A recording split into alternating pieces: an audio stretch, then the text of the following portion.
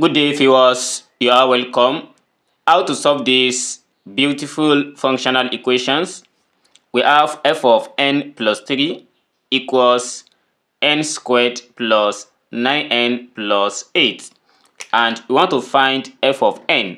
Here we have n plus 3 and we're asked to find only f of n without having any addition or subtraction. So let's see how we can do this. We are going to solve this one using two different methods. At this side, we have a quadratic, n squared. Square indicates a quadratic plus 9n plus 8. So the first method we are going to use here. So let's see method 1. First, we write the equation as f of n plus 3 equals n squared plus 9n plus 8. Let's try and factorize this. And I'm going to be showing you the best way of factorizing without guessing. And it works for any form of a quadratic equations. Here 9 is a sum of this and uh, 8 is a product. So let's consider 8. If we have 8, let's look for all the factors of 8. Number that we can multiply together that gives us 8. So the first one is 2 multiplied by 4. And we still have 4 multiplied by 2. We have 8 multiplied by 1 and 1 multiplied by 8. So I don't need negative here because this one is only positive. So I will relate what we have here with this. So from what we have here, let's look at the number that when we add it together, it gives us 9. So 2 plus 4 that is 6 and 4 plus 2 equals 6. We are going to cancel these two and let's come back here. Either we choose 8 plus 1 or 1 plus 8. Any of this one work. So which means we go for any of these. So at this side we have f of n plus 3 equals, let's create two brackets. So after we create two brackets, we need to write n plus and this is also n plus. So both of these are positive. We leave this as positive positive. Then we write this as 8 and we write this as 1. So this is how we can factorize this. So we have two factors of the quadratic above which is n plus 8 and uh, n plus 1. Good. The next thing is let's try and uh, form manipulate this. We have this domain as n plus 3 and uh, we want to make sure that these two are also the same thing as n plus 3. How can we achieve that? It's very simple. Here we have f of n plus 3 equals, I need n plus 3 from this n plus 8. Let's write this as n plus 3. Since it was n plus 8 before, we need to add plus 5 to this. So n plus 3 plus 5, this gives us n plus 8. And also, for the second one, we have n plus 1 and we need n plus 8. What we do is, we write first which is n plus 3 that we need. And uh, it was initially n plus 1. We have to subtract minus 2 from here. That gives us n plus 1. After achieving this, the next is we are going to replace every single n plus 3 in this. We change it to n.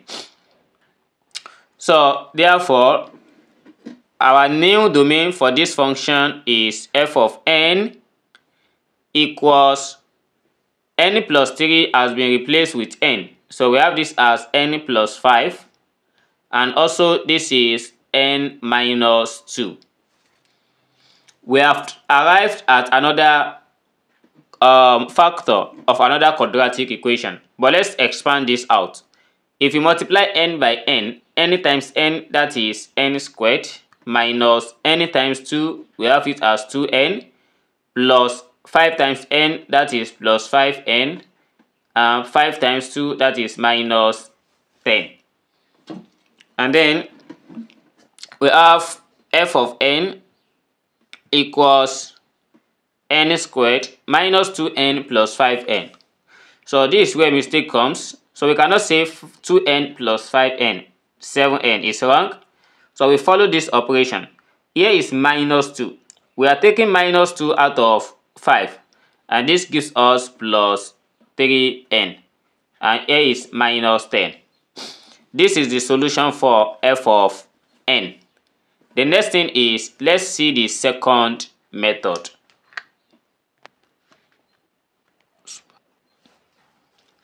So welcome back to the second method.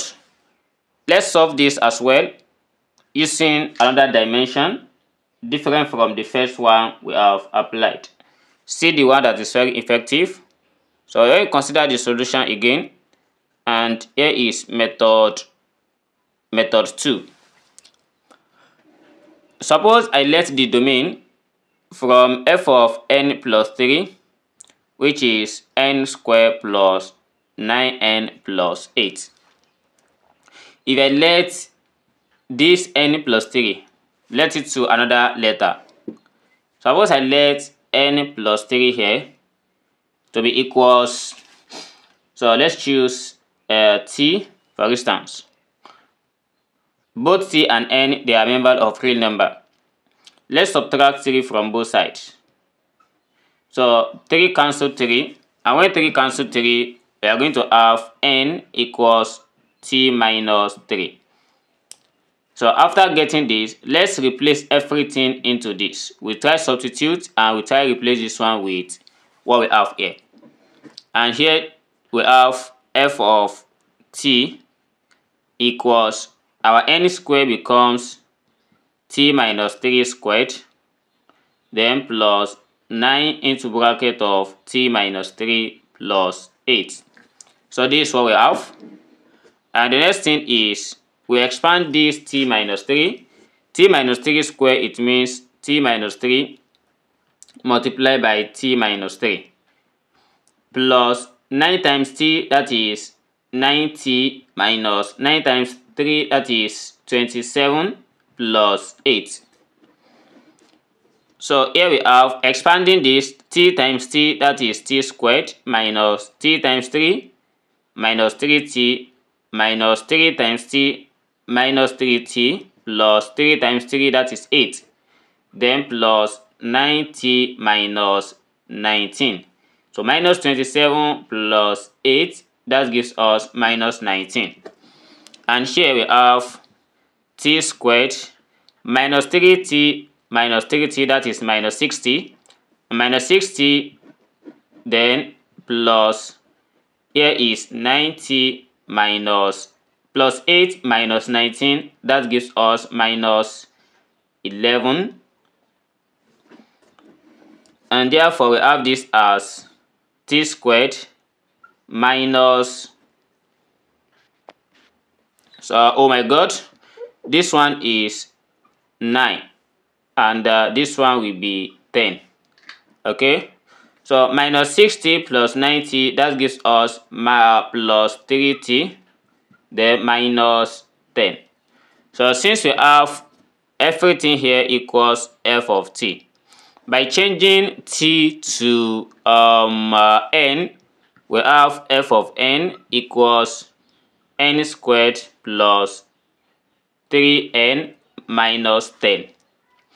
So this is the same result as the first one using manipulation method and uh, substitution method. We get the same answer. Thanks for watching and uh, don't forget to subscribe to this channel, turn on the notification bell and see you in the next class. Never stop learning. Bye bye.